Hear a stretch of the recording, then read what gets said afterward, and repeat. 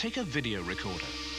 You know, one with picture search, timer, programmable remote control, and a long play facility. Now, add a second deck, so you can record while you watch another tape, or tape two things at once. Finally, take a price of just £399. The result is the Amstrad Double Decker, the original two-in-one video recorder.